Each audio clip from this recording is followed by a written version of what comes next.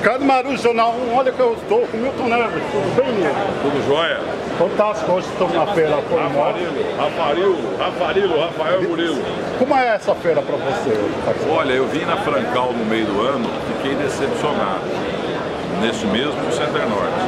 Agora hoje, quando eu cheguei, já faz umas 4 horas, estou impressionado. Os estandes belíssimos, eu, no, eu não saio do Rafarilo, que é meu parceiro há 7 anos, no rádio, na televisão, na internet, no jornal mas eu vi grandes stands por aí, público excelente, não é o principal dia, segunda-feira é o principal dia é terça-feira, é amanhã. Então isso aqui é um referencial do atual momento, não político, mas do atual momento econômico do país.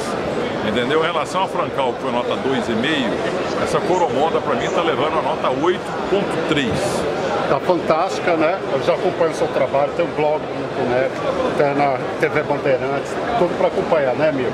Isso. Estamos aí toda a mídia e tal, e torcendo pro Corinthians. É, não, eu torço pro Palmeiras, né? Não torço pro Corinthians, não. Mas é isso aí, obrigado, Milton. Vamos acompanhar a feira como vai, né? Não, tá bonito, tá bonito. É isso aí, Ricardo E é, Mar... e é nós, vai Corinthians. É, Palmeiras, Ricardo Maru Jornal, valeu. Beijo pra você.